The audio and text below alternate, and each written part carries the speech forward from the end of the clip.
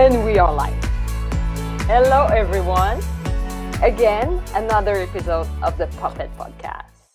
Hey, I'm so happy because, yeah, you saw my background change. I'm out of Montreal right now. I'm kind of my little hometown in Gaspésie called Matane.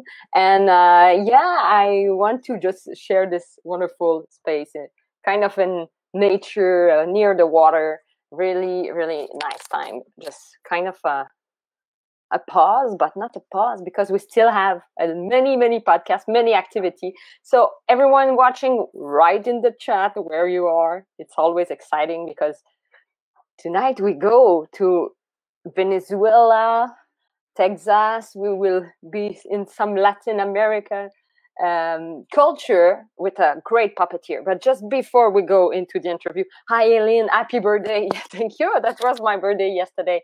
I celebrate here uh, near the water. It was really cool with the family, uh, eh, with the mask and whatever. We handle it really properly. So yeah, I want to share um, the workshop that we we do. It's coming on August 7 and it's really really interesting look at this it's with Swazzle, a company from Los Angeles. Those guy was doing puppets for Jim Carrey performance, and they will do this workshop about palates, small palates for quality puppets. So have a look for the Patreon. It's really a, a wonderful workshop for really cheap.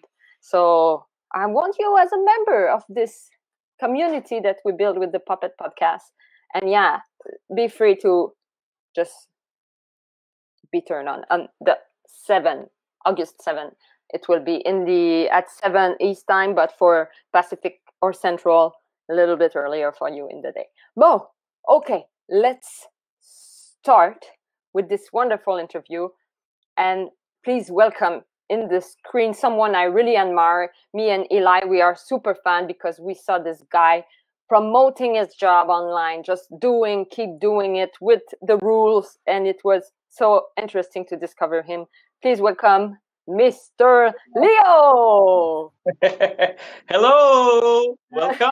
Hi, it's a pleasure for me to be here.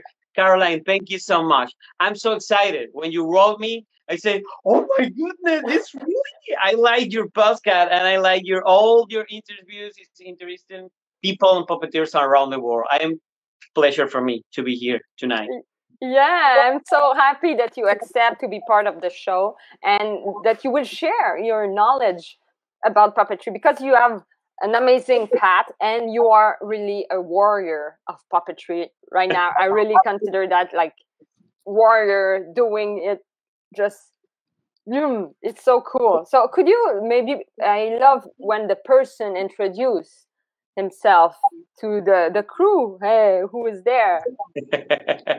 Okay hello everyone. My name is mr leo but this is my artistic name. My real name is leonardo velasquez i'm from venezuela latin america and i love my country and speak spanish perfect it's my native language mm. and i came to houston five years ago when one idea in my mind. I make a puppet show maybe 20 years ago. And when I moved to Houston, I say, okay, I will do it. I know I don't know how many time take for me make a puppet show in Houston, but the puppet came first like me.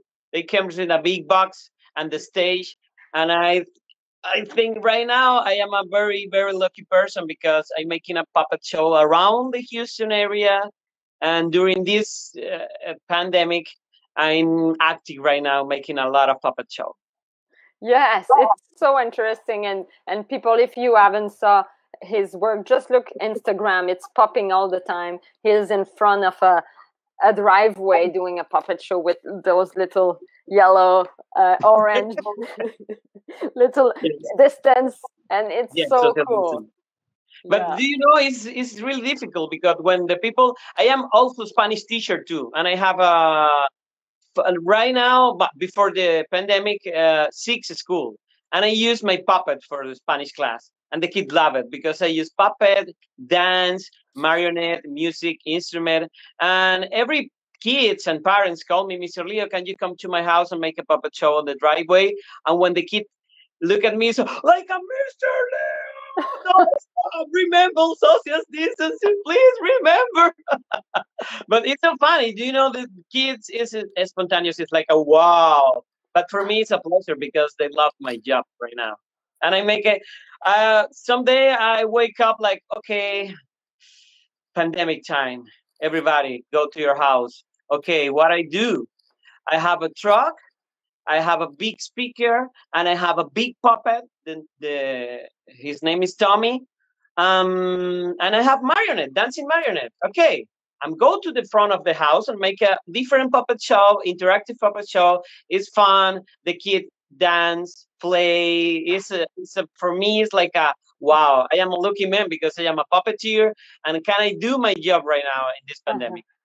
Yeah, I have my um assistant who tell me yeah to remove your glasses because mm-hmm. it's so pretty to see your eyes but maybe you will see the comment but i will do the moderator for you it was like yeah, you, you, we want to see your beautiful eyes i you. want to, to go to the interview because i always ask the same question and mm-hmm. it's so much good thing and you are kind of on the field so i like to have the viewpoint of someone like doing it so hardcore style. So it's amazing. The first question is why do you cherish the art of puppetry? I cherish the art of puppetry because I remember when I was 10 years old, yeah. I started to make a theater workshop. And when I was maybe 14 or 15 years old, I went to the puppet workshop in the School of uh, School of Puppet in my in my city, Maracaibo, Venezuela, and I say, "Wow!" I I saw a lot of puppet show when I was a kid, and for me, it's like a magic. It's like a wow. Fifteen years old, my first puppet workshop, and I think, "Wow, this is magic." I think this is magic yeah. I i want to live in magic all my life. Mm-hmm. i have to do a lot of puppet show. When i was 15 when i was 18 or 20 i have an idea. Uh, maybe can i do a puppet for business? In my country is a big country is the second country of the, the big in venezuela. And i say we have a lot of people here. And uh, the people love the puppet. And i say okay this is my way and I am 45 right now. 25 years ago, I never stopped. Okay, I say I'm doing, I'm doing, I'm doing, I'm doing, I'm doing, I'm I'm here right now. You're a doer. That's amazing. And, yeah. and I want to know maybe your crush. You talk about this time at 15. Could you say to us how did your crush for puppetry happen? Um, happen when in the first puppet workshop when I when I saw the do you know the traditional guignol puppet? This is maybe the first one I make, maybe 15 years ago.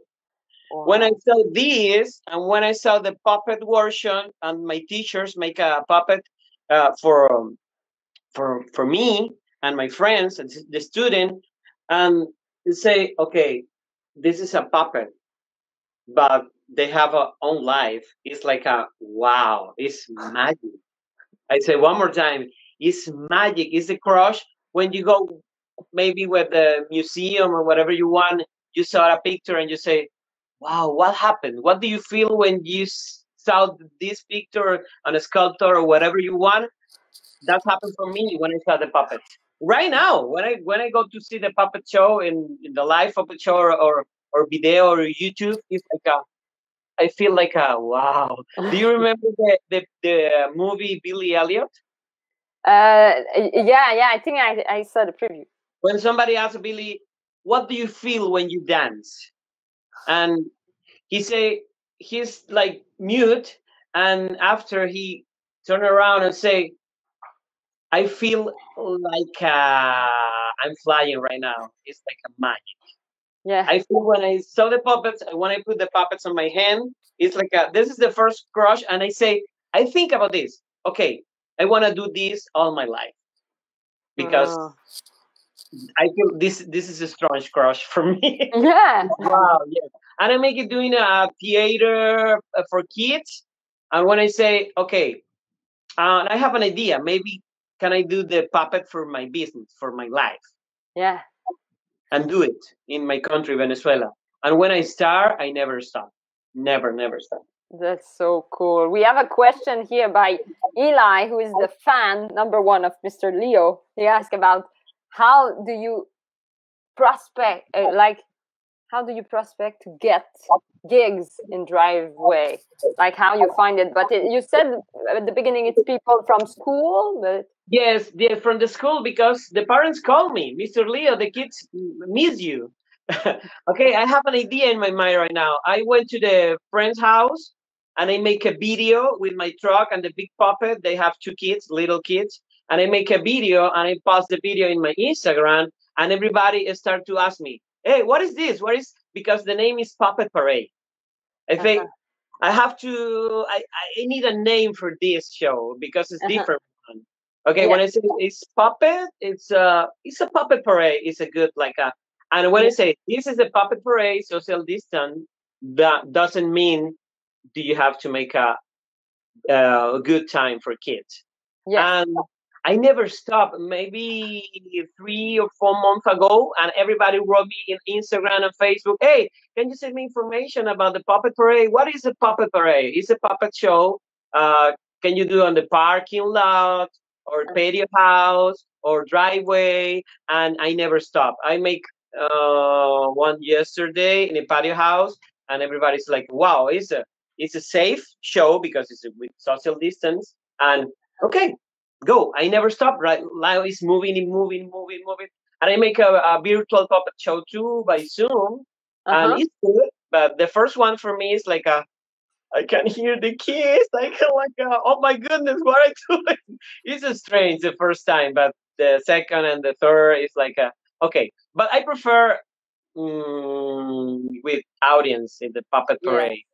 Yeah. Yes for sure and, and, it's good to call it a parade because it's like not a, a, an assembly like people don't get together it's it's passing it's a good yes. name to name the thing uh, i want to go to my next question about um, the the field of study in your opinion what would be the best field of study for a puppeteer for me uh, is experience with another puppeteers mm-hmm. right now i'm making a puppet workshop the Bunraku, Bunraku technique. Yeah. Uh, she's amazing. I give you the contact because she's amazing. She's from Venezuela too, but she lives in Mexico right now. Okay. Um, she make a, a project like Naku Teatro, Naku Theater, uh-huh. and she make a beautiful, beautiful show with Bunraku technique. Wow. And, okay. Uh, she make a, a, puppet show for adults. For me, it's difficult. It's like a wow. And I saw a post, a post on the Facebook. I say, wow, this is Sonia Gonzalez from NACU. I want to. And I make it right now on a Bunraku workshop every Saturday. And I think the best way too is is with friends, puppeteers, workshop, um, university too. But we have a little options for study puppet and universities around the world. Yeah. And for me is is sharing the experience with friends and puppeteers around the world. That's great. That's true. The experience is so key in what we do. And what would be like your own definition of a puppet? Like when the kids ask you, do you have like something funny you bring to them? For me, puppet is magic. It's it's whatever you want. I have a lot of marionette, but they are some like a strange animal. Uh-huh. And when I say I make a game with the with the kids because I have a big box. Okay, I have a special friend right now. It's an animal, and when I put the head out the box, say what kind of animal is this, and the kids say, uh, I don't know. I, and I say, that's it. Whatever you want. The puppet, whatever you want, is magic. The napkin can be a puppet. The cup can be a puppet. If you take a glasses and say like this, Hello, I am Mr. Glass. How are you today? Good. Yeah, yeah. This is a puppet. Uh-huh. Magic because can you be can you transform everything in a puppet? Everything. Yeah. It's a I game. Like and it's a magic because yeah. for me magic is like a game and you can use magic and game and whatever you want Wow, so much keywords like magic and game. I think, it, and it's a lot of enthusiastic emotion linking yeah. with those words, like a lot of high energy thing. So it's really uplifting. Yes, yes, yes. And I feel the magic when the audience, when the kids say, "Mr. Leo, I love your puppet show." For me, is wow. Do you know the kids? For me, is a really hard audience because uh-huh. they are spontaneous all the time when they don't like it, say I don't like it. I okay, I'm go. But when I say I like it, she stay engaged all the time. It's like a, and the adults stay. When the adults stay quiet and don't see the their phone, for me it's like a yeah good job, good job because engage the the big people is like a wow. It's hard, but when they have when that happen, it's like a magic. It's like a wow and they say okay i want the puppet okay the last week i have a puppet show for a birthday girl is uh-huh. uh, 42 years old why not mr leo i want two in my party but my husband say no not right now not right now and she make a party for the kids around her house and oh. but she oh. love it. I say, I love the puppet. I love your your magic. You're enthusiastic, and uh, she danced, her friends. it was uh, okay. The birthday girl is years old. That's so perfect. That's a great example. And yeah, people among approve like puppet have magic power. So you have a lot of approval on the chat too. I want to, to know, in your opinion, like, do you think the art of puppetry is in an ascension right now? Yes, Yes. Yeah. For me, yes. Right now in Houston, that's happened when I made when I made a puppet show. Uh-huh. The people say, "Wow, a long time ago, I don't see the puppet show, yeah. but I like it because that's happened when I say when the people, the adults remember when they uh-huh. are kids, like a, wow, I remember the puppet show when I was a kid. Yeah. And when I saw the puppet one more time, it's like, wow, I make it before the pandemic. Uh, I made a lot of festival because it's like a it's like a tradition for me. Never die the puppet mm-hmm. is, and and right now it's like a, for me it's uh, it's a good. First, my Spanish class is a is a really good tool for me. The puppet is I have a Mr. Pedro and Miss Luisa. They are my assistant. They are okay. a puppet. And when I, I start the class, the, the kids, Mr. Leo, where is Mr. Pedro? oh, she's here. Hello, my name is Mr. Pedro. And she she and he only speak Spanish because uh-huh. they are assistant for a Spanish class. and for me, the, the puppet is in ascension right now. It's like um because yeah. everybody loves that magic. Yes. And somebody that people don't remember, but when you see the puppet, it's like a wow suddenly it's like, oh, I remember the puppet show when I was a kid, and everybody go and connect with the puppet show. Yeah, it's a kind of a, a magic recall. I've been, boom. Uh, yeah, that's true. I love that. And I want to know uh, if you feel that puppetry has reached its full potential, or do you think we, we will get the golden age at some point? Um, yes and no because we need a more feel for puppets but uh-huh. i feel right now we uh, every puppet is puppeteers uh, around the world can make the difference right now uh-huh. you know because we need more space and uh, tv shows or whatever but we can do it uh-huh. i can do it by myself because right now i have i have a new project is mr leo kit is for for Spanish class, and it's a kid. It's a little kid with Mr. Leo, and they have puppet, of uh-huh. course, uh-huh. finger puppet, and this is my. Um, you can do it by yourself. When you do it by yourself, you know you feel the energy around the world. Is we can do it. We need more space, but for me, it's easy because yeah. it's like a magic, and everybody loves magic. When when when you have a puppet and when you have magic, you go to the different place and everybody remember the puppet show. Yeah. That's it. Yeah, oh. Elise, like like the movie from the 80 and the 90 get a lot of puppetry in it. So to make this recall, if we are all together, we can bring this to the world for sure. Yes. I, I think. agree. That's good. And where do you see puppetry maybe in 10 years? Oh, I think we are around the world in every place, in every place, schools, malls, festival, shores, wherever, wherever, yeah. whatever. Yes, I think, I think. That's good. I love your positivity. Yes, yes, because I believe in puppet all the time. I think for me, yesterday I'm, I'm looking for a sponsor for my new project. Uh-huh. And when you tell everybody, okay, I have this project. Okay, the kids have fruit, fake fruit, puppet, and uh, Mr. Leo's uh, book, activity books for the kids to practice Spanish.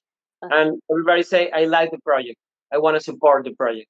And I have right now, from yesterday to today, six sponsors. For me, it's wow. it's like a, it's like a Spanish project, but with puppet. Amazing. I, I will I will make a video. I'm using the puppet. It's interactive video. When the kids have a kid, when the kid have a kid, they can they can see the, the video. I say, hello, my name is Mr. Leo. Do you have some puppets in your kid? Okay, go, do it. I have too many puppets with the kids. Okay, the cow make moo. It's a, it's a game with, with kids. Uh huh. In Spanish. Wow, that's so cool we want to help you. the kind of project we really believe in it. It's kind okay, of, we can do a project around the world with different puppeteers in Spanish, in Spanish, English, French, whatever you. yeah, we will make multi-language. I want to mm. know, like, because it's kind of good to ask the the future. Like, what is your biggest purpose as a puppeteer? Like, right now is learn Spanish with yeah. puppets. Yeah, to make no. this. Because make a Spanish teacher for me it was a surprise because I am a teacher. I have a degree for teacher and I have a degree for educational psychologist. And I say, when I came to this country, this beautiful country, they gave me the opportunity to make my job with puppets. For me, mm-hmm. it's wow, it's amazing. And I say, somebody called me for a teacher, Spanish teacher interview, and I say, what? Oh yes, I go. Okay. Uh, are you ready to make a demo class? Uh, no, maybe tomorrow. And I go to my house and I put two puppets in my backpack. And I go to the school and I say, okay, what I say? Okay, I have some music in Spanish. I have Mr. Pedro, Mr. Luisa. Okay, we go to sing in Spanish. And the the manager at the school say, okay, it's okay, don't worry, can you stop? I say, he don't like it and I say, I love it. I love it. You are hired. Go, go. We need you sign the contract right now. And the big purpose for me right now is, is learn Spanish, teach Spanish with puppets. Yeah, to do this project and make it grow. That's uh-huh. so cool. Yes. Yeah, I want to to to help you on this. It's it's so cool. I I, I practiced my Spanish, so maybe I will learn more. That's cool. I want for the conclusion. We we always bring puppets, but I want to ask you because before the interview, you talk about Augusto Boal. So you studied mm-hmm. in Brazil. Do you think yes. this kind of like for the one who know, like Augusto Boal is kind of a, a wonderful um, how I don't know the word in English, but because but it brings something really new and deep to theater culture, and and I want to maybe just know a bit about how he influenced maybe your way of going into the field and bringing your art because it's part of his culture. Yes, it was very important for me when I studied with Augusto Boal because do you know the technique the teatro del oprimido? It's like a, uh, he wants to come back to theater from the people. Mm-hmm. you know i feel right now the especially the theater and the theaters is like a uh, oh, this only for only kind of people it's like intellectual people go to theater. And he can't to make a transform with the people. When i when i was in brazil we make a lot we made a lot of puppet workshop with people around the city. You know, Rio de Janeiro is a big city, Mhm. and it's an amazing city because do you can you see the difference with rich people and poor people? It's like wow. And when I went to the favela, it's a mountain, it's a dangerous place. Mhm. And when I saw the chain of the people recognize your body like it's an instrument to communication, is I have a I have a beautiful experience because I when I made the the workshop, some lady say, "Okay, do you know what happened? I don't know what to read. I don't read. I need help." Okay, I make a translation in Portuguese, and two two weeks ago, two weeks later, he say, "My son, he helped me with the screenplay," and I say, "Wow." And when I saw the the theater is like a the play is like a wow. Do you know the body? Her is like this. Anybody can see me. I don't want to anybody see me. It's like this. Yeah, And one Introverted. month ago, it's like, wow, I'm here. Look at me. I am cyst. Is Teatro del Oprimido is amazing because he transformed the people in, he go back to the theater to the people. It's it's amazing. The transformation when you make a Teatro del Oprimido workshop is wow. It's amazing. Yeah. And he transformed my life because I I make a puppet show in all places Uh-huh. driveway, school, malls, street, parking lot, because everybody need the the puppets. I think all the time everybody needs the art for Yeah. for life. It's like sensitivity. It's like a, and if you lose the art, is you live in a different world. It's like a, and and I give it this opportunity for kids and, and families. That's such a great conclusion. It's like you wrap up for people, art for people. That's so Yeah. amazing and a lot of like humble work and philanthropic. I went Yes. for the conclusion. Maybe you bring a puppet. You have so much behind you. So maybe you have a, a favorite one. Yes, because I have a new friend Oh yeah. Oh, his name his name is Giancarlo. I made a survey in my Instagram because he is new. I buy this in, in Facebook Marketplace. When I saw the picture, say, "Wow, it's a professional puppet," and I say, "Okay, how much? Twenty five dollar. I want to. Can you send me the address?" And I go fast and take the puppet. And I post in the Instagram a video with with the puppet, but he don't he doesn't have a name and say he is seen um, Nessun Dorma by La Boheme with Pavarotti. Okay, I need a name for my friend. Nessun Dorma. And everybody write Italian's name. Um, the winner is Giancarlo. And he is. Hello, everyone. My name is Giancarlo. and I said, Nessun Dorma. Nessun Dorma. He is Giancarlo. I have to fix her hair. yeah. And Uh, Do you know feel, this is the too many seconds I feel the magic. It's like uh it's, you know the skin is like a oh I like it. It's kind of a, a a good way to find puppets. We we never know what we find in marketplace. you never know. When I saw say, okay, this is a professional puppet. And when I see the tag, it's a, it's a people from Texas, but uh, they don't they don't make a puppet right now. And somebody told me they are two uh, uh, brothers, and they are really really good puppeteers. Look at this. It's really Yeah. really amazing. Look So at the arm. So we don't know who built it. No, not right now. Okay, maybe we will find. Yes, yes, me too. that's that's good. Like to post it on Instagram. Who built this puppet? And and we put it on the network of the Puppet Podcast, and we will find who built okay. this wonderful character. That's amazing. Thank you so much, Mr. Leo. So if people wants to see more of your your work, where they can find it. And then Instagram is Mr. Leo Puppet Show. And then my web page is Mr. Leo, uh, Mr. Leo Puppet Show and Entertainment. Yes. And Facebook, Mr. Leo Puppet Show. So let's Google Mr. Leo and you will find. you put Mr. Leo on uh, Google and do you find me?